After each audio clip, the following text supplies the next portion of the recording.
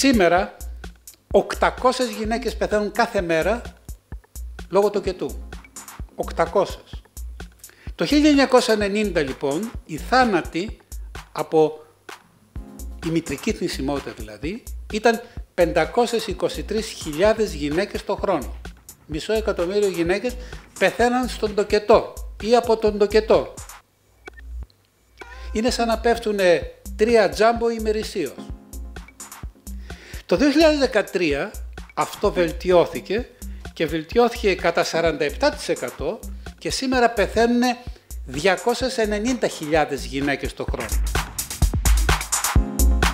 Το ΕΣΟ στις 300.000 γεννήσεις, το χρόνο ζωής που έχει το ΕΣΟ όλα αυτά τα χρόνια, έχει περίπου 300.000 γεννήσεις. Και στις 300.000 γεννήσεις η μητρική θνησιμότητα είναι σχεδόν ε, μηδενική. Δηλαδή είναι περίπου ε, ένα, ένα, ούτε ένα σε 100.000.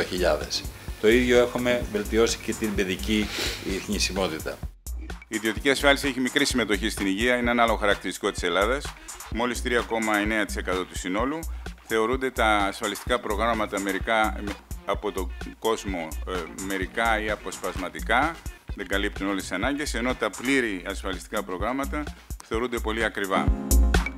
Η χώρα έχει βγει τυπικά από τα μνημόνια από τον Αύγουστο του 2018, αλλά ουσιαστικά βρίσκεται ε, σε τεράστιες σοβαρές δεσμεύσεις και ελέγχους, τα οποία, οι, οι οποίες δεσμεύσεις δεν επιτρέπουν εύκολα την επανεκκίνηση της οικονομίας αν δεν υπάρξουν δομικές αλλαγές και στρατηγικές στον τρόπο διαχείρισης της οικονομίας.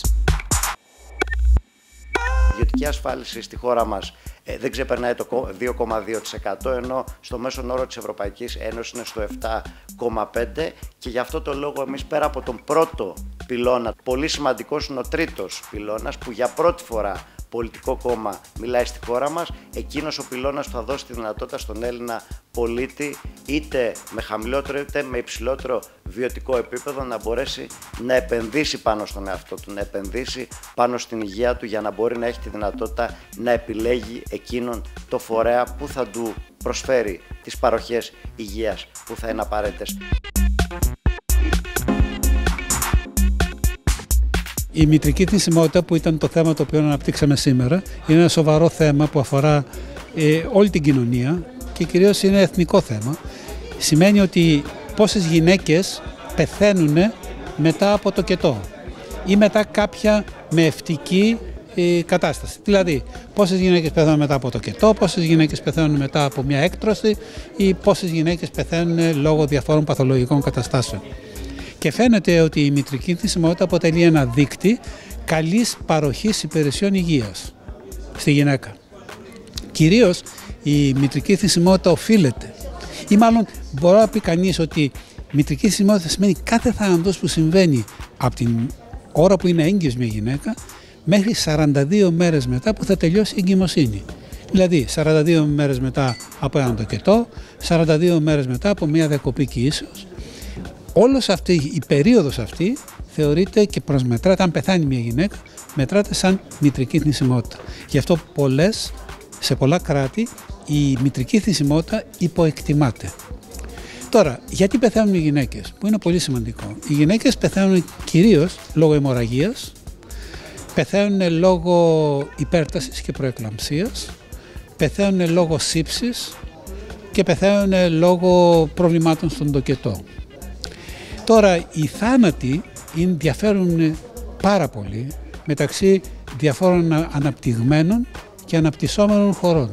Δηλαδή, άλλη είναι η μητρική θνησιμότητα εκεί που η, παροχή, οι, οι υπηρεσίες παροχής υγείας είναι καλύτερες, σε ευρωπαϊκά παραδείγματα, χάρη στην Αμερική, στην Αυστραλία, στην Αγγλία.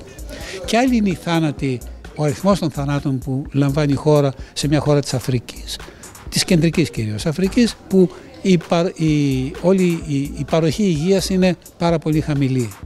Επομένως, έχει μεγάλη, μεγάλη σημασία να βελτιωθούν οι βασικές ανάγκες και οι βασικές ε, οι, ε, ε, οι βασικές καταστάσεις εκείνες που αφορούν τον, μητρικό, τον θανάτους μητέρων και είναι πάρα πολύ εύκολο, ιδίως στις χώρες αυτές της Αφρικής, να βελτιωθεί αν κάποιος παρακολουθεί τις γυναίκες.